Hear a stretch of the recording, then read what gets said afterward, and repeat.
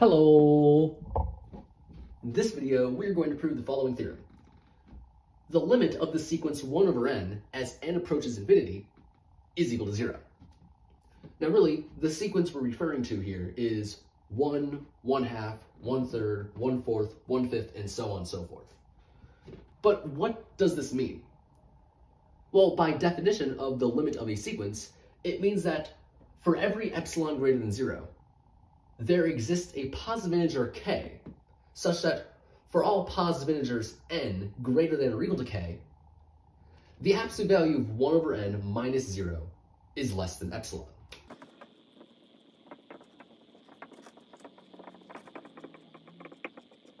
So to prove this, we're going to prove this.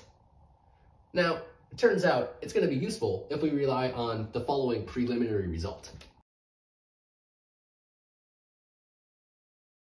Given any positive real number, x, there exists a positive integer m such that 1 over m is less than x. Right, so we're going to use this result in the proof of this theorem. Okay, but before we get into the proof, let's start out with some scratch work. Now, what we're ultimately going to end up showing is that the absolute value of 1 over n minus 0 is less than epsilon, where epsilon is an arbitrary positive real number and n is an arbitrary positive integer greater than or equal to some positive integer k. So let me start out by writing this. Now, since n is a positive integer, of course this is just equal to 1 over n. But since n is greater than or equal to k, and n and k are both positive, it follows if we take the reciprocal of both sides of this inequality, we have that 1 over n is less than or equal to 1 over k. Now remember, we ultimately want to show that this thing is less than epsilon. Well, we could ask ourselves, where are we going to get k from? Well, we could obtain k by using this lemma, right? If we take our positive real number x here to be epsilon, well, yeah, there exists a positive integer m such that 1 over m is less than epsilon. And so we could take m to be k, which means 1 over k is less than epsilon. So we have that the absolute value of 1 over n minus 0 is less than epsilon, which is what we ultimately want to end up showing. Okay, so now let's get into writing up our proof. Now the whole goal in the proof is to show that this statement is true. That's all we need to do. Because if we can show that this statement is true, well, that's precisely what it means for this to be true. Okay, now, in proving this, we're trying to prove a statement about every positive real number. So give me an arbitrary positive real number. I'll call it epsilon. And with this arbitrary epsilon greater than zero, we want to show that this is true, right? We want to find a positive integer k which satisfies for all positive integers n greater than or equal to k, absolute value of 1 over n minus 0 is less than epsilon. How are we going to obtain this positive integer k? Well, in our scratch work, we said that we were going to apply lemma 1. So let's apply lemma 1.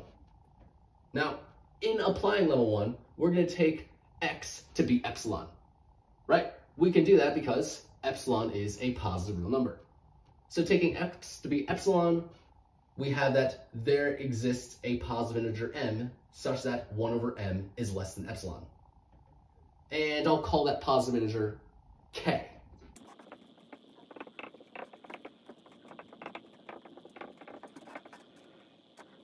Now remember, our whole goal is to find a positive integer which satisfies this statement.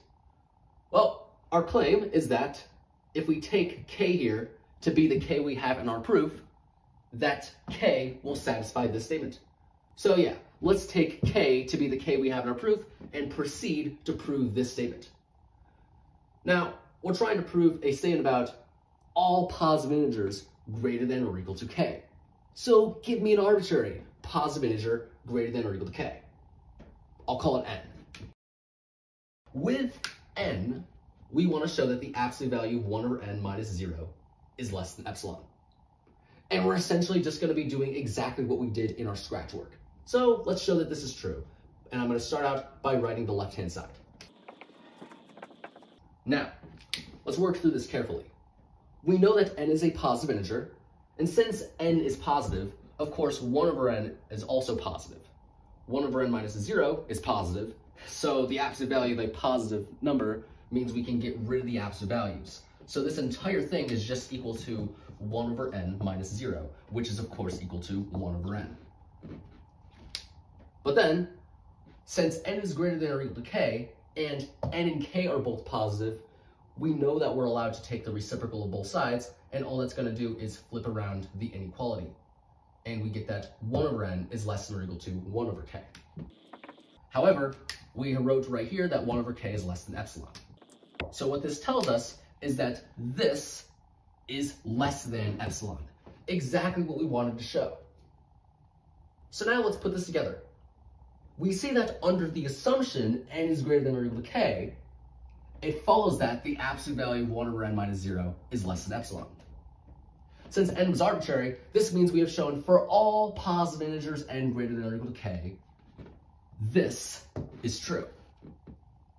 So, we have found a positive integer k such that this is true. Namely, if we take k to be the k we have in our proof, then this is true. So we have shown that this is true. And now, putting this all together, we see that under the assumption epsilon is greater than zero, it follows that this is true. Since epsilon was an arbitrary positive real number, this means we have shown for all epsilon greater than zero, this is true.